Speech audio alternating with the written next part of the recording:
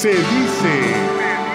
que durante la sesión ordinaria de este jueves, la presidenta de la mesa directiva, Noemí Sitle Rivas, no se quedó con ganas de dar un regaño a los diputados que durante los trabajos legislativos se ausentan de sus curules, por tanto, les pidió no desatender la labor para la que se alquilaron. Curiosamente, en este momento toda la bancada de Morena se encontraba en su lugar, mientras que del otro extremo faltaban al menos cinco, entre ellos el coordinador del PAN, Asael Hernández Cerón que quien podrá disfrutar sus vacaciones de Semana Santa con inmunidad procesal es el aún diputado federal con licencia, Cipriano Charrés Pedraza, ya que la Cámara de Diputados del Congreso de la Unión decidió posponer su desafuero hasta el 24 de abril. Charrés Pedraza es acusado de provocar la muerte de una persona en un accidente automovilístico ocurrido el año pasado en su tierra natal. Encuentra aquí las noticias más importantes en Criterio Hidalgo y recuerda suscribirte a este canal y darle clic a la campanita para que no te pierdas ninguno de nuestros videos.